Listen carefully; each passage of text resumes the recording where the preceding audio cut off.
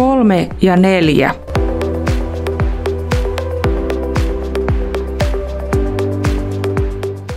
Sarja lukusanoista jatkuu. Edellisessä videossa tarkastelimme lukusanojen yksi ja kaksi taivutusta.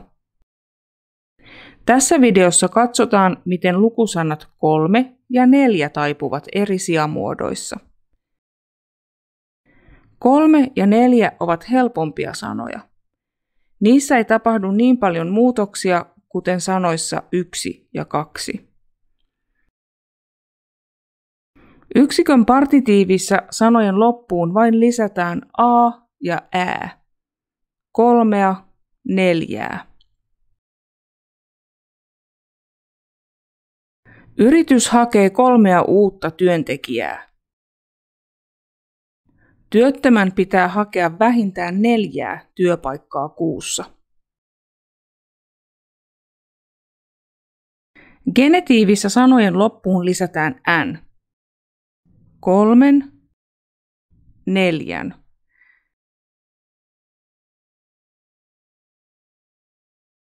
Opiskelijat tekevät tehtävän kolmen hengen ryhmissä. Mirvalla on neljän viikon kesäloma. Sanojen vartalot ovat samoja kuin perusmuodot. Kolme ja neljä. Näissä sanoissa ei ole KPT-astevaihteluja. Inessiivissä eli missä muodossa vartaloon lisätään pääte kolmessa, neljässä. Leena laihtui paljon kolmessa viikossa.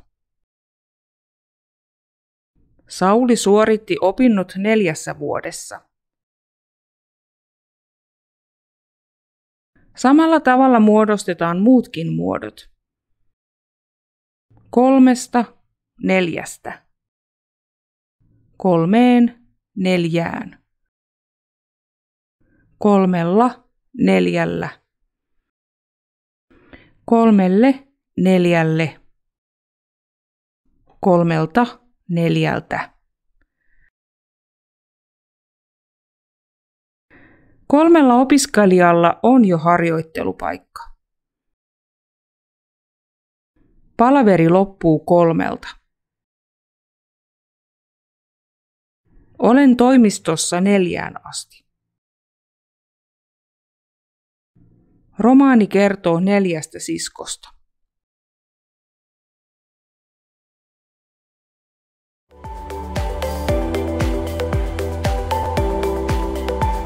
Seuraavassa videossa käymme läpi lukusanojen 5 ja 6 taivutuksen.